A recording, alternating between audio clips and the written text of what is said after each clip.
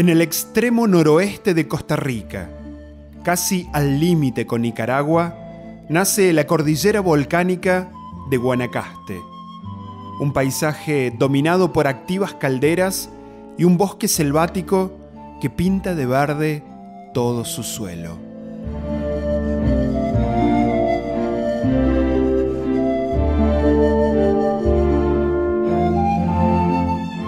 A sus pies se despliega el amplio golfo de Papagayos y allí es posible descubrir pequeñas playas solitarias y serenas.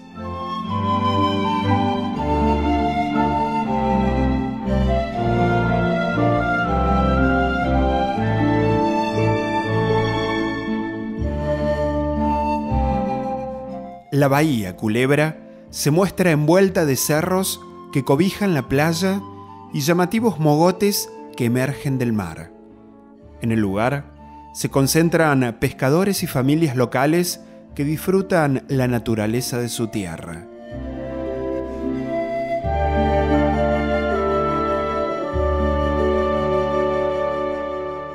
Luego de recorrer estas costas que miran a la inmensidad del Océano Pacífico, me adentré por angostas rutas que atraviesan pequeños poblados y de repente me encontré rodando sobre caminos de ripio que se internan en lo más profundo de sus sierras.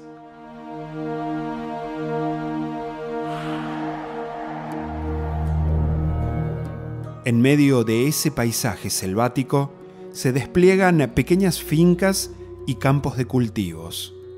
La pesca y la agricultura son los principales sustentos de los pobladores de la región.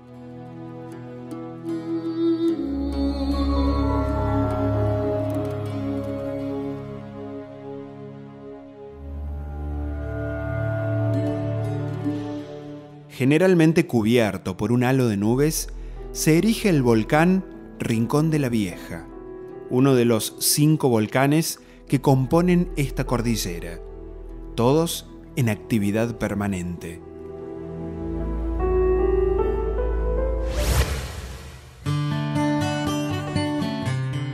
El calor de este volcán da origen a un surgente termal que puede disfrutarse en el complejo Buenavista. El lugar ofrece cinco piscinas bajo la sombra de la tupida vegetación y en la intimidad de la naturaleza.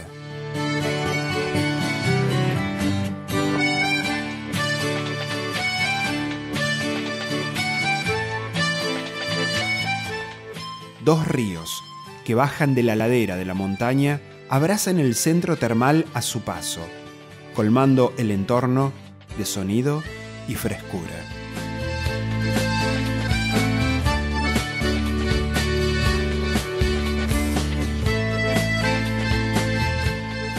Las termas del Rincón de la Vieja se vuelven una alternativa diferente y natural para quienes se encuentran recorriendo la región costarricense de Guanacaste.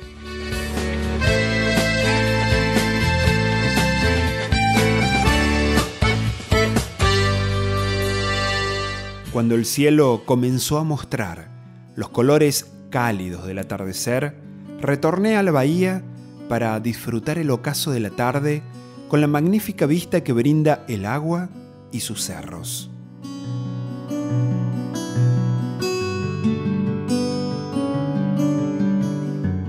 Los barcos descansaban sobre el océano inmóvil y me quedé contemplando ese paisaje cautivante hasta que la noche lo cubrió por completo con su manto de oscuridad y estrellas.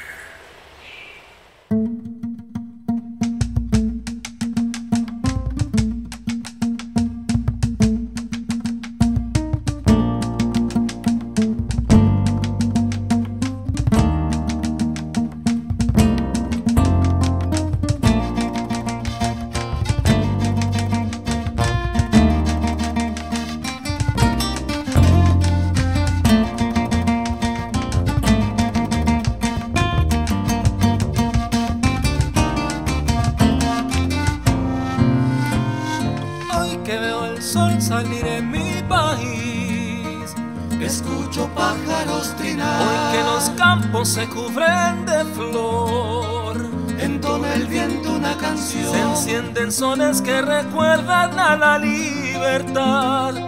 Que hablan de nuevas primaveras de felicidad.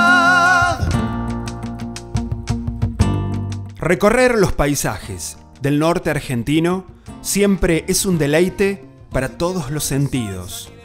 Un cielo límpido y el cálido sol de las alturas cobijan una tierra rebosante de colores y sostén de una cultura ancestral que se mantiene viva.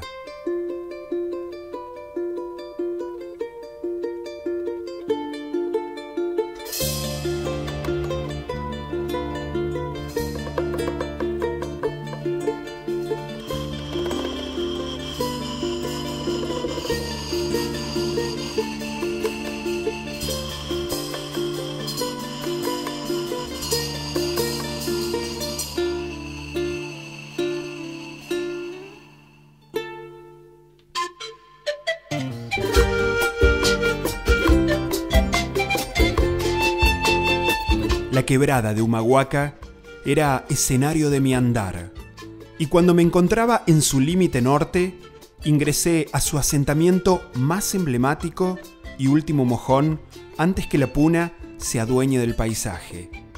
Había llegado al pueblo de Humahuaca.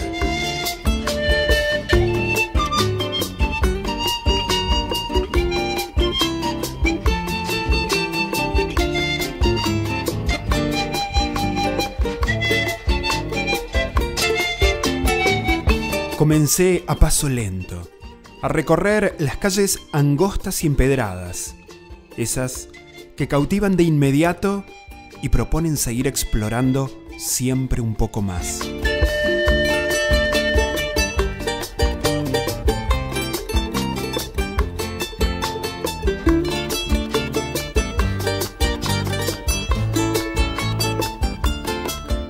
Aborígenes de la cultura omahuaca habitaban esta región en la época precolombina, pero el pueblo hoy exhibe el trazado y la arquitectura impresa por los españoles desde el año 1591, cuando fue fundado por Juan Ochoa de Zárate.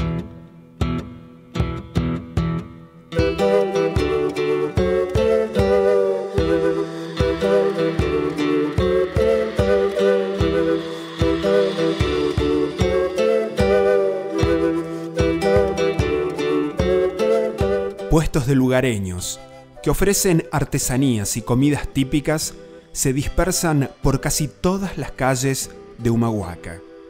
Es entonces cuando los aires hispanos de las casas y sus faroles se mezclan con las costumbres collas más arraigadas y auténticas.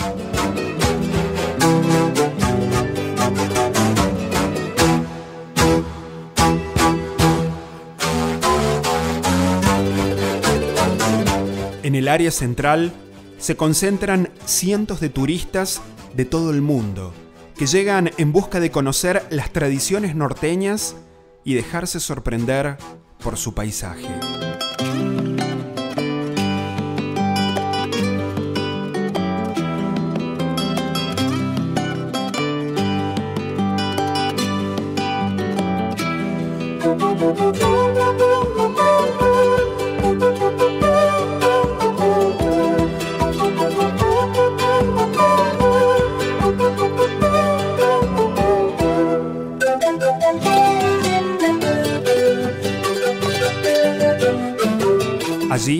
Se ubica la iglesia catedral Nuestra Señora de la Candelaria y San Antonio, y en su frente se erige la torre reloj del antiguo cabildo.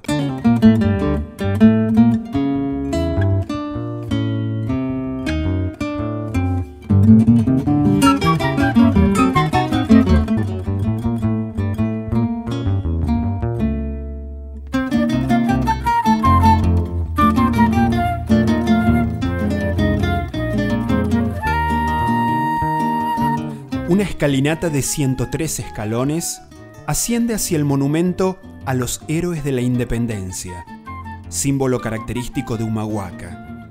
Fue realizado por el arquitecto Ernesto Soto Avedaño e inaugurado en 1950. Rinde honor a los quebradeños que resistieron a las invasiones realistas.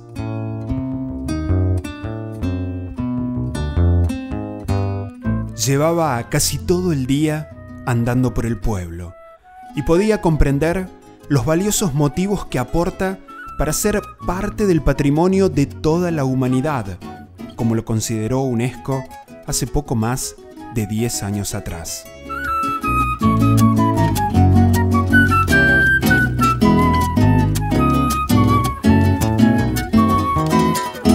Humahuaca es testigo de más de 10.000 años de historia y escenario viviente de una cultura auténtica que pese al crecimiento de la actividad turística, intenta mantener sus hábitos y tradiciones.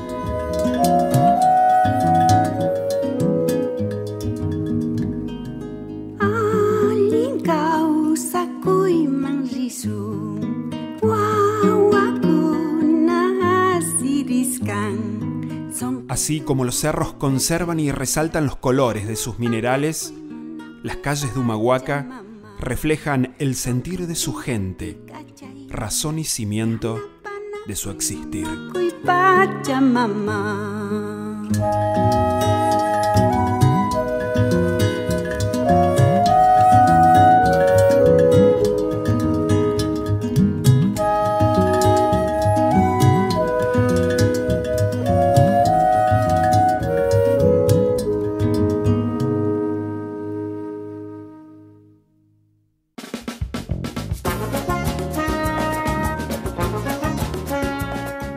Brasil es sinónimo de playa y diversión.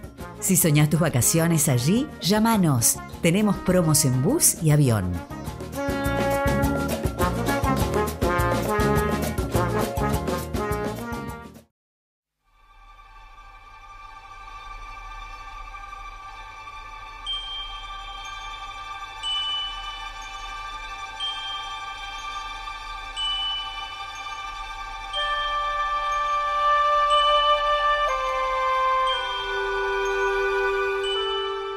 El amanecer pinta de naranja y rosado la nieve que se posa en las laderas de las montañas andinas. El sol comienza a brillar con más intensidad y a sus pies se despliega el paisaje de la Reserva Natural Copahue.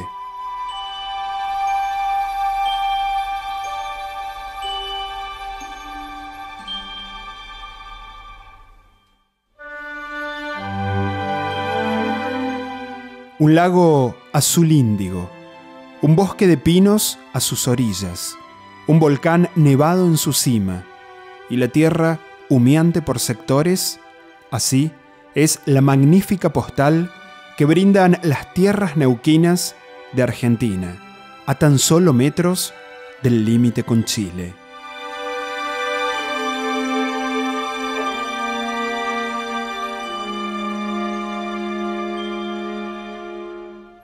Esta reserva de más de 28.000 hectáreas contempla dos sectores urbanos.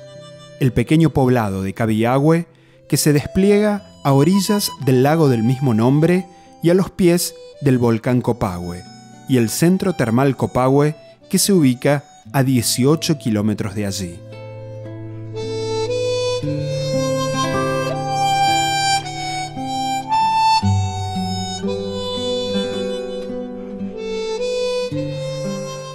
Cabillahue tiene apenas 30 años de existencia.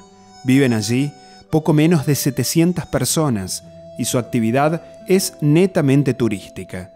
Un puñado de casas y hoteles que miran al lago conforman su trazado. El entorno es sereno y silencioso.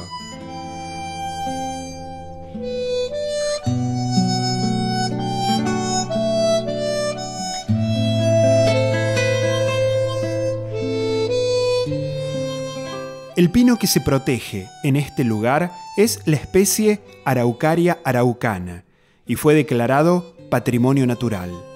Su existencia es milenaria y actualmente solo se encuentra en una angosta línea de los Andes neuquinos.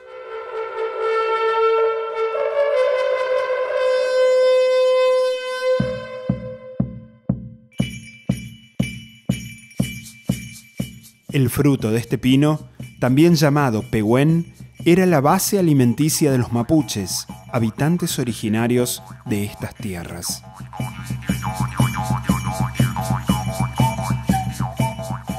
En los sectores de bosque más espeso se entremezclan con innumerables ñires que aportan su tono rojizo al paisaje, brindando pinceladas de calidez y belleza.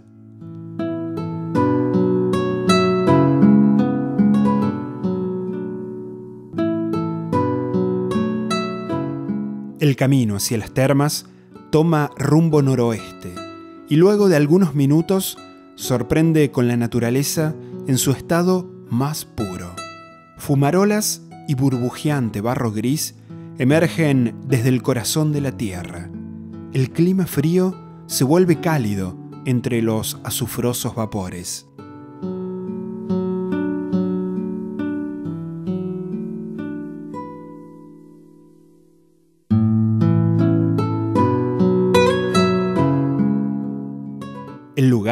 Se llama Las Maquinitas, debido al sonido que emiten las fumarolas cuando salen con fuerza hacia la superficie, simulando el silbido de antiguas máquinas industriales.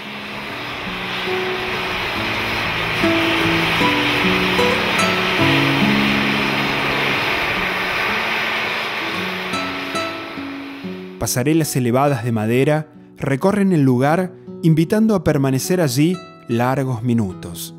La dinámica de la naturaleza es cautivante.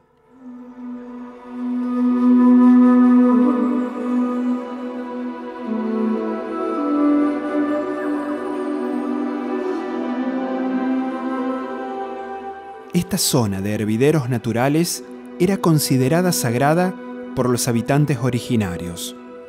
Fue recién, en el año 1870, que un médico chileno obtuvo el permiso del cacique pehuenche Cheuquel para llevar sus enfermos a recibir los beneficios de las aguas y el barro.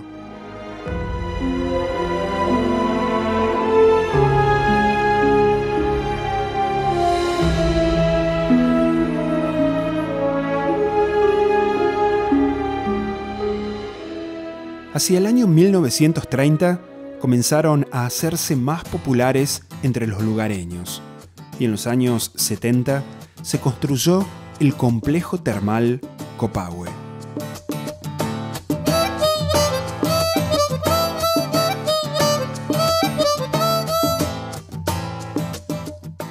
Alrededor de la infraestructura de la clínica médica termal hay algunas casas de los trabajadores, unas pocas cabañas, una capilla y un casino.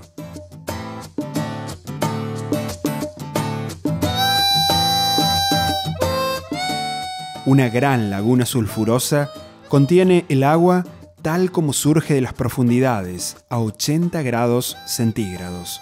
Luego se encuentra la Laguna Verde y la Laguna del Chancho.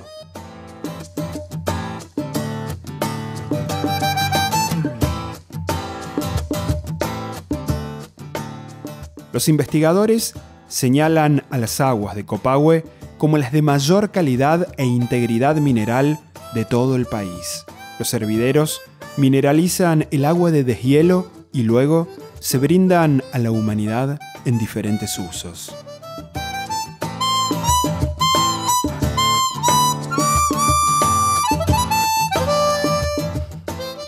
El agua, las algas y el barro son beneficiosos para la piel y los huesos, y los vapores para tratamientos respiratorios a través de inhaloterapias. Las termas de Copahue cuentan con siete aguas de diferente clasificación y propiedades, disponiendo de amplias posibilidades de aplicaciones.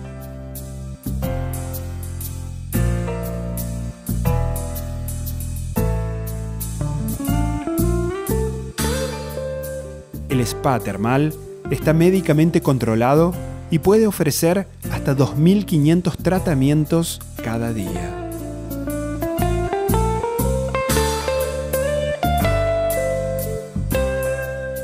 Para quienes gustan del aire libre, se sumergen a la laguna del chancho, untan su cuerpo con el barro tibio que se posa en el fondo, lo dejan secar al sol, lo enjuagan y la piel queda con una suavidad asombrosa.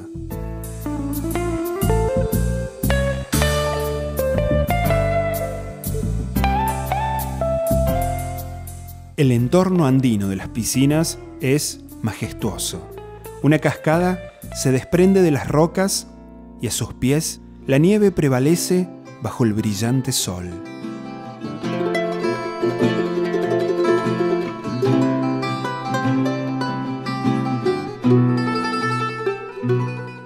El centro termal se encuentra abierto desde diciembre hasta el mes de abril.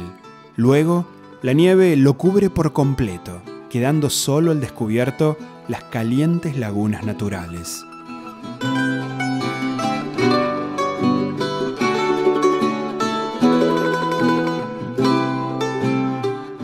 Las laderas del volcán Copahue se vuelven pistas de esquí y muchos aventureros descienden hasta la laguna, se dan un baño termal y luego continúan esquiando.